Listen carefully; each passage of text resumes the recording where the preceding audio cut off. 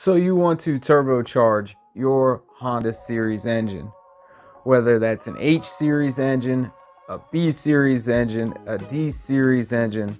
These five tips that I'm about to give you will work universally across all those platforms.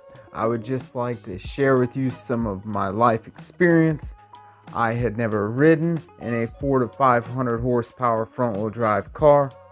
If I had, I would have realized that would have been plenty enough power to have all the fun that I would have ever wanted. Plus, it gets way more astronomically expensive once you go above that 500 horsepower mark. By the way, my name is Brad, and if you're new to the channel, I'm excited for your interest. Let's go ahead, get into these five tips that I wish I knew back when I started my build.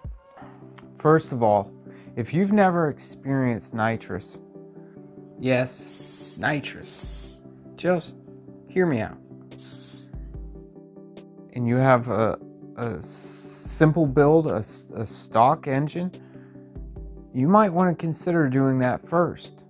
Uh, you can go and get a 600 horsepower Zex kit that can go on your car and be a ton of fun. You don't need to get a tunable ECU.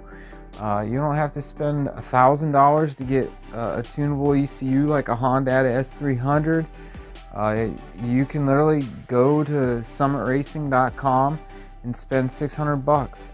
It, it has a, a smart box that ties into the fuel pressure regulator and uh, it automatically compensates. It raises the fuel pressure uh, when you hit the nitrous and it automatically does it for you. They're really safe if you set them up correctly. That was the first thing I did. And $600 for 55 horsepower, 75 horsepower, 100 horsepower is the best performance you are ever going to get dollar for dollar.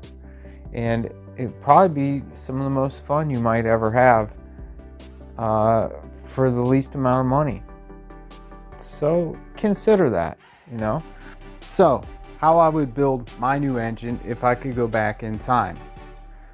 In the best of worlds, I would buy an H22A1. Now, if you have the H22A4 or a B18 with an open deck design, that's okay. You're just gonna have to do one more step. If I had the H22A4, like I have in my 5th gen Prelude, or a B18, what would I do? I would fill or grout the block. What does that mean? Well, that means that literally I take an epoxy and I fill the top half of the block. So there's a lot of different videos out there about this, but I'm going to simplify it for you just real quick. So basically you pour sugar into the bottom half of the water jackets and you take your epoxy and you fill it up to the you fill up the top half of your water jackets. You let it cure you take your head gasket and you drill holes where the water jacket openings are. And it's that simple. Now you've got a cheap effective block guard. Or if you wanted to you could go ahead and get the block CSS'd that costs somewhere around 500 to 700 dollars. Me personally if i was going to do that i would just go the distance and get the block sleeved. Let's stay on the budget minded stuff. So now we've supported the sleeves. Now we're good. If you had the h22a1 you didn't have to do that. Now what are we going to do about the stock pistons? Because the stock pistons can only handle so much power now, if you're only going for like 350 horsepower, sub 400, you're pushing your luck. You could still use the, the stock piston, but you have to add ring gap. You would have to take it apart, file the rings down some so that the gap is a little wider. Give it like an extra two to four thousandths of an inch so that the ring lands don't touch, so that the rings don't touch when it gets hot. They're not designed for extra power, and that would give you a little bit of insurance.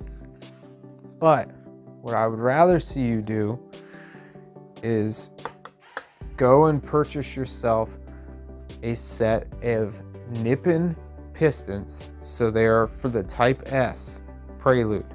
So it's the same manufacturer that made the stock pistons, but they're a lot better and they're coated.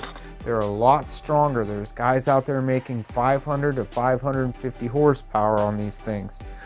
Um, they are, I believe they're 11 to 1 compression. They come with skirt coatings on them already. $220. $220. It is a cast piston, so you cannot make a world of power on these things.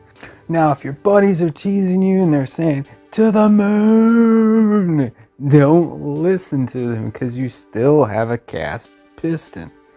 But they've been proven at the 500 horsepower level. So that's why I'm saying 450 to be safe. Then you would go out and buy yourself a reasonably cheap forged rod, like an Eagle rod or a Max Speeding rod. Max Speeding rods are only $289 and they're rated for like 800 horsepower. This is way overkill for what you need, but you can sleep well at night knowing that you won't ever have a window in your engine. So now you've got less than $500 in a rod and piston combo that is going to handle 450 horsepower easily. And if you wanted to go and get extra protection for that, you could go and have that cryo treated. That's what I would do. And then get yourself some valve springs and some retainers. Um, if you don't plan on revving the motor really high, you could just get valve springs. I suggest doing the titanium retainers, but you don't have to. And then, and then lap the valves. You don't need to get an expensive valve job. I mean, valve jobs can be $800, $900 to do all that stuff to set up the head. All you have to do is if you're using Honda stock valves, uh, they're, they're great the way they are. They're really strong. Um, you just go ahead and you lap the valve. It's really easy to do. You just use a compound that just basically trues the surface that these butt up against. Um, I would also shim the oil pump. That's really cheap to do. You just shim the oil pump. I will put up a picture of what I'm talking about and where to shim it. So on the on the nut that screws in to the oil pump, you just basically get a washer and you want it to be about 25 thou to 30 thou thick.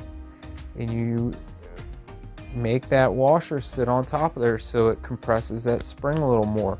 That'll give you like five more PSI of oil pressure. If you wanted to, you could buy a new spring for the oil pump. Uh, that's probably what I would do myself, and then I would shim it on top of that. Stock cams, just fine. Leave the balance shafts, just fine.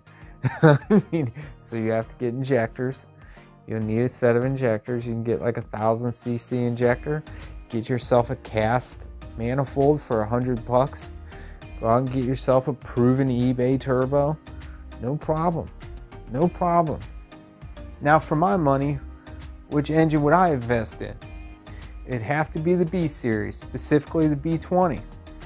The parts are the most affordable, the engine's the most available, and in this configuration, it can handle the most power. It maxes out around 500 to 550.